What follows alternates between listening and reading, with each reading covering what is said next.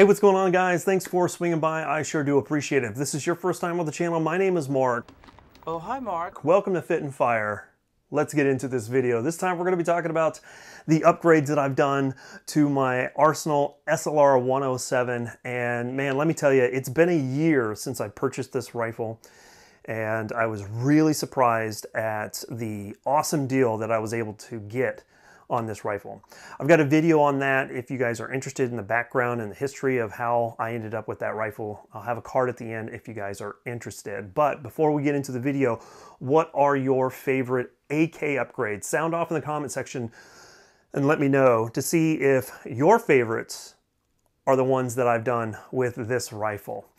In addition to that, if you guys are not following me on Instagram, I'd encourage you guys to swing on by Instagram if you guys are on the platform and follow me there because you get to see a lot of the background stuff with the channel over there. I'm posting almost every single day and you guys can kind of get a heads up on some of the projects that I'm working on and uh, so on and so forth. So swing on by and check that out. Finally, if you guys are interested, I am being sponsored by Coffee Brand Coffee Company.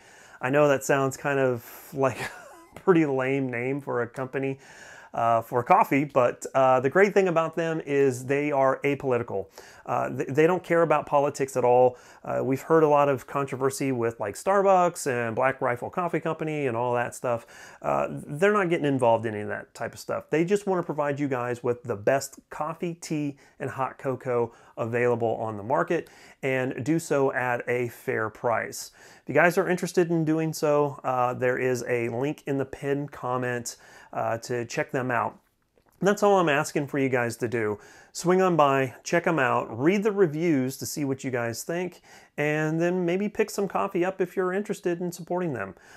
I would appreciate it. Okay, so let's get back into the video and talking about these upgrades on this AK. Man, let me tell you, it's been a year and it, it's been quite the ride because Adding all the different types of upgrades on this rifle has really taught me a lot about the AK platform. Not only how to fit upgrades to your rifle, because there is fitting involved in especially the handguards uh, for, uh, for this Arsenal 107R, but also, you know, I upgraded the trigger as well and understanding how to, you know, uninstall and reinstall a new trigger is pretty awesome as well. Okay, so let's go uh, GT style, tip the butt, and uh, talk about all the different upgrades that we've got going on here. Uh, first and foremost, let's go ahead and clear the rifle. There you go. And we're clear. All right, so this came with a two chamber uh, Midwest Industries brake. Um, the SLR 107s are going to be a left hand uh, one or 14 by one left-handed thread uh, muzzle. So uh, you got this uh, brake from Midwest Industries. It came with the rifle and it has done very well. I, I have no reason to change this out. So I have liked it uh, a lot and kept it on there. So there's that. I might change this out later and put some type of uh, KeyMo muzzle device on here so that I can add my uh, Dead Air Sandman S. Um, but I do want to check the consistency of the barrel first to make sure that it's all good to go and then uh, make a decision about that later. Okay, moving on back, we've got the B31 and the B10 handguards here uh, with the RK6 foregrip and then a pick section on the side here. Originally, I was going to put a Perst IR device on the side here, but unfortunately, when I ordered, it got it got lost in the mail and I had to ask for a refund. Fortunately enough, I was able to get a refund. That's awesome, but uh, unfortunately, I don't have a Perst anymore. So, yeah, there's that. The great thing about the B31 upper handguards is you're going to have pick sections on the front and rear. So if you want to put a uh, red dot up here, you can do that. Now, a lot of people will say you don't want to put a red dot up here because uh, the heat from the gas tube is going to um, overheat your electronics in the red dot and it could either kill it or it could diminish its long longevity longevity, if I can say that word. And with the way that this is set up, you really don't have to worry about that because the B31 is not actually in direct contact with the gas block. Now, there will be some heat, definitely, but not as bad as say like an UltiMAK or one of the Midwest Industries pick section gas tubes. So just keep that in mind.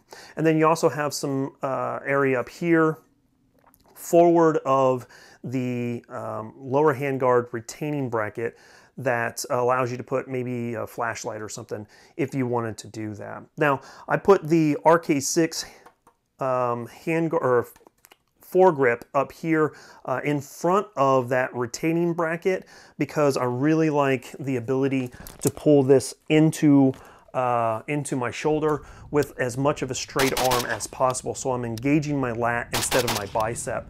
And uh, if you guys don't already know, your lats are stronger than your biceps. So there's that. Now I will say that getting the lower handguard, the B10 uh, handguard onto this rifle took a lot of fitting, a lot of time with a Dremel, uh, basically shaving off the section that fits into the receiver, but it really wasn't that difficult. I just took my time, took some off, fitted it, see if it would um, lock into place.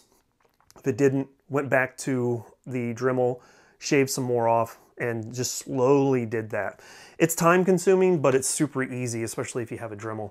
Um, and it, if I can do it, you guys can do it. So there's that. Okay, moving back, we have the PT5 buttstock, and this is something I really do like. The SLR 107R is the fixed stock version of the 107 rifle. And uh, the thing about the PT5 is this turns it into a folding stock rifle. And that is super cool because I don't have much room in my safe as it is. So being able to um, reduce the size of this rifle to fit it into the safe or put it into my truck is a huge help. In addition to that, with it being folded, I can fold it with the optic on and it will lock into place uh, like so. You have a button up here that you just depress and it will unfold and lock into position.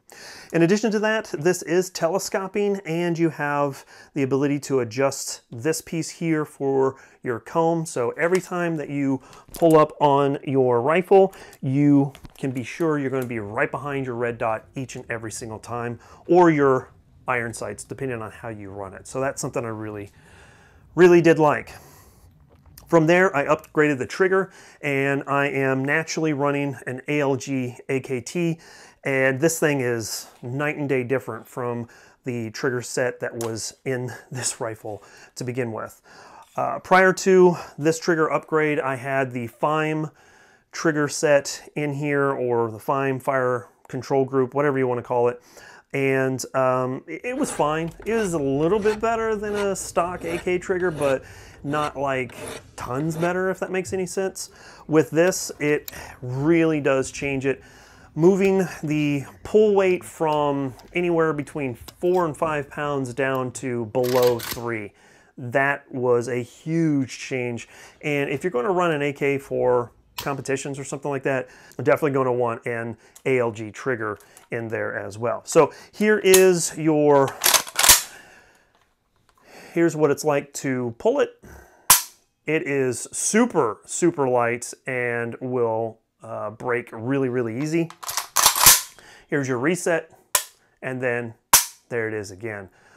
Man, this trigger, I don't know why it took me so long to put one in, but once it's in, it's been golden. Finally, with the optic here, I am running a Midwest Industries side mount with the uh, integrated mounting system for the ACSS Cyclops. This is going to be the one power uh, prism optic and this is the Gen 1 as well. So uh, I like it. I, am okay with it being the Gen 1. It, I don't necessarily need the newer generations and I do like how it is set up to be able to directly attach to the uh, side mount as well. This is going to have an etched reticle and the BDC in it is uh, extremely versatile because it will accommodate 762 by 39 556, 545 by 39, and 300 blackout all with the same reticle. Now you're going to make some adjustments on your uh, point of aim, point of impact as far as uh, zeroing this optic and your holdovers are going to be uh, slightly different ranges, but by and large it's all going to be about the same distances on your BDC. So that was really cool. Finally down here, uh, I've got this new pistol grip, and this is actually from a company I would have never expected a AK pistol grip to come from, and that's going to be Mission First Tactical. Uh, one of the guys over there sent me a email and asked if I was interested in checking any of their stuff out. I uh, requested four different items, some of their AR-15 magazines, a uh, AR-15 pistol grip, this pistol grip, and then one of their backpacks as well. I'm gonna have a separate video on those things later, but this is actually pretty interesting. Typically I run the standard AK grip on here because I do like the smaller grips, but this one is a little bit larger and fills my hand a little bit better as well. If you guys aren't interested in the finger grooves, that may not be for you, but it actually feels pretty good, pretty comfortable, and I like the texturing on here as well. The pistol grip is going to come with its own bolt that is compatible with the uh, pistol grip block that's in there and it's going to be a lot shorter as well because on the underside you have the ability for some storage in here to put batteries or um, whatever you want to put in there, Skittles, you know, you always got to have food out at the range. But it comes with this little divider for you to uh, divide up your uh, batteries if you're running double A's or triple A's or whatever the case may be. You can do that. So uh, really thought out design on this pistol grip and I have enjoyed running it so far. So there you guys go. There is the upgrades on this rifle. And let me tell you, I would really like to run this at Kalash Bash, but unfortunately I've decided to run my SAM 5. I've got some additional upgrades on that rifle as well we're going to talk about in a video here real soon. Just got to get it out to the range, do some fine tuning, and then get some video of me competing with it with one of the local competitions, but I digress. Look at this thing. Man, that is a gorgeous rifle. Really, really do like that. But let me know what you guys think. Sound off in the comment section down below. If you were able to get your hands on some Zenitco stuff, would you trick out your AK with Zenitco furniture? Or what is your favorite? Let me know. Sound off in the comment section down below.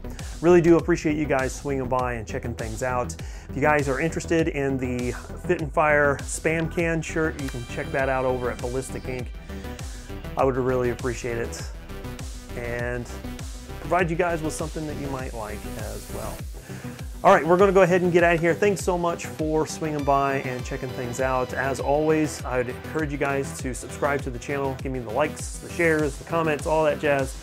It is a huge help along the way. Thanks guys, we'll catch you guys later. As always, freedom through strength. Here comes a high five. Catch you guys later.